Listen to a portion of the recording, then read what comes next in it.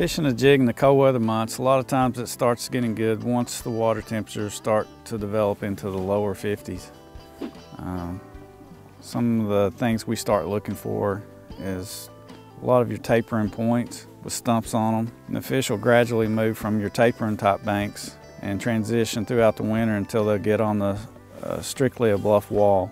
During this transition time, it's key to try to follow the fish and keep checking different types of banks. We'll fish a lot of 45 degree banks. 45 degrees the angle of the bank coming into the water versus a flat bank or a straight bluff. So when you're fishing the bluff, bluff walls or channel swings, one of the key areas in the channel swings where the, the bank will transition. A lot of those transition points are where the creek channel runs in against the bank, making it vertical. And as it goes away from the bank, the bank will gradually taper off. And a lot of those transition areas are, are key to getting bites, especially in the winter months. A lot of those top areas will also have a different type of rock on them. Some of the banks that you'll fish you know, if you see a bank that's kind of straight, got some shelly rock on it, and then all of a sudden you see some chunk rock develop on it, or some big boulders, those are key areas to look at. Uh, what makes a casting jig unique compared to other jigs is it's a little bit more of a finesse style, and it's used for situations where you want to cover various depths in the water column. And while doing that, you want to be imitating bait fish, crawfish especially. And it's able to come through cover effectively without getting hung up. Okay, I'm just working my jig out. Uh, this bank is kind of a 90 degree pea gravel bank. On the end of it has a little bit of drop, little flat spot on top. It's got a lot of scattered stumps on there. So I throw my jig out. First thing I want to do is make sure I got good slack line so the jig falls straight to the bottom. You don't want your jig to pendulum down. Once I know that I've got the slack line, got a little bow in my line, know the jig's on the bottom, then I'll start dragging it slowly when I'm dragging it slow, I want to envision that I'm, my jig's a little crawfish down there. You know, sometimes crawfish will dart around and stuff, but most of the time crawfish are crawling around really slow. So I'm working my bait slowly, feeling the bottom, feeling what's down there. If I'm on rock, if I'm on any kind of smooth bottom, if I'm pulling up to a stump, right there I can start to feel my line start to get just a little bit tighter. That, that way I know I'm starting to pull up to a stump.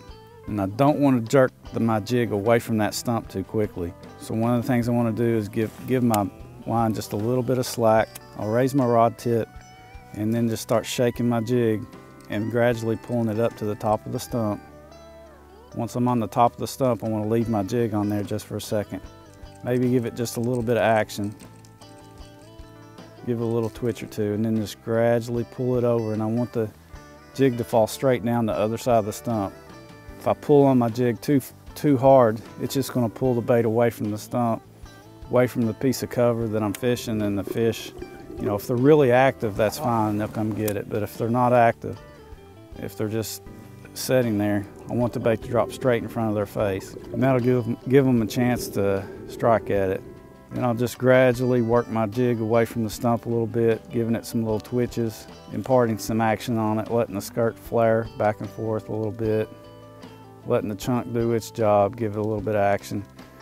But as you notice, I'm not, not really pulling the jig real hard, real fast. Just trying to be as natural as I can with it. There's a bite.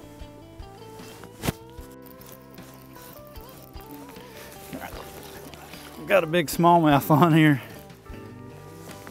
Just trying to play him into the boat. Even though it's wintertime, they still can fight pretty good. Just want to keep the line tight, play him down a little bit. He's got the jig really good in his mouth. Now that I can see that, I know he's going to stay on there pretty good.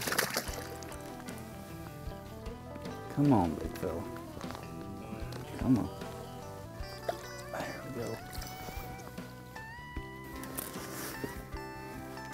So that's what we're after out here.